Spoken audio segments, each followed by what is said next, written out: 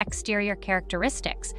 Brittany dogs have an appearance rooted in their practical role as hunting aids. They are of medium size, with an elegant and well balanced build. They are compact and muscular, with a lively and active gait that indicates their exceptional physical readiness.